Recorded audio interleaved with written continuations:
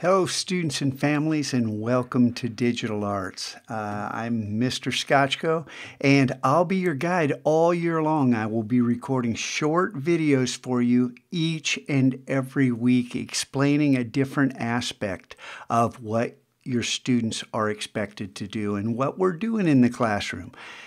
Right now, I'm sure you have a lot of questions, so I built this the FAQs and updates. You know, why do you grade the way you do? What about coursework and homework? Why don't you use Schoology and the rest of this? But down here, there's a weekly family update where each week I am going to archive uh, this information. So the video I'm making right now will, will be placed right here.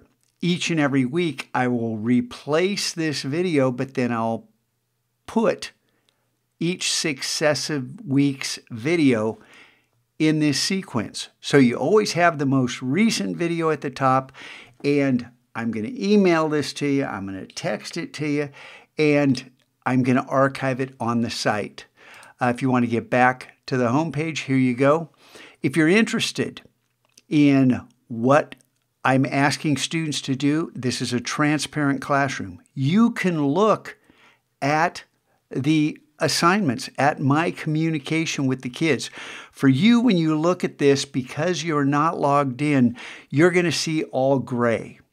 But if a mission is unlocked for the students, it's unlocked for you as well. So you could dig in here. You're not going to get the XP. You're not going to level up, but you are going to be able to see the videos that I recorded for your students. And everything I'm telling them is right here. So you can follow along, and I'm going to give you much more information about how you can keep up with what your students doing. But for right now, lots of answers to your questions right here. What's my student expected to do? Well, you can find out. Click the link. I'll see you next week.